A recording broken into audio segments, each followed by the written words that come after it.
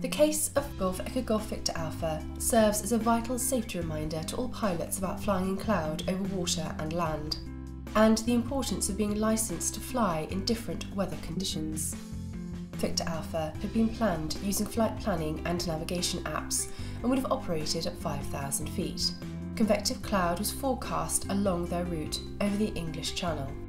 As the flight reached the middle of the channel at around 9.15 am, one of the pilots, operating under visual flight rules, radioed to say they were encountering cloud. Neither of the pilots were qualified to fly in cloud, and neither held an instrument rating or an IMC qualification. Shortly after its last transmission, Victor Alpha disappeared from radar. Victor Alpha had been planned using flight planning and navigation apps and would have operated at 5,000 feet. The flight should have taken an hour and 38 minutes. Evidence shows pre-flight plans were not shared between the fly-up pilots, and each of them on the trip made their own weather assessments.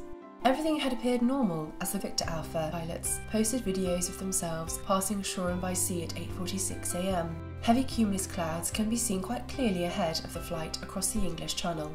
Both pilots were wearing their shoulder harnesses under their life jackets, potentially risking entanglement in an accident.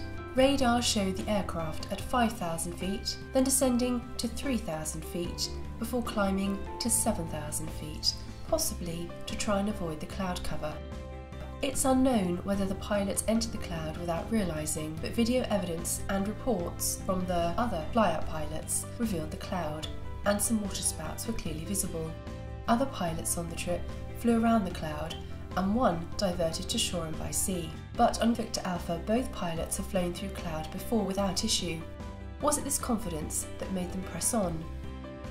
At 9.16am, the last radar record shows Victor Alpha descending rapidly 20 nautical miles west of Le Touquet. It's hazardous to enter cloud when not qualified to do so and outside of instrument flying practice. And the AAIB has had to investigate many accidents when control has been lost in cloud. Let's stay safe, fly within our limits, plan ahead, respect the weather, and be prepared to divert. For more advice, read the CAA Safety Sense leaflet Pilot, it's your decision. Review the Skyway Code on pre flight weather decision making and see the life jacket advice in the CAA Safety Sense leaflet Ditching.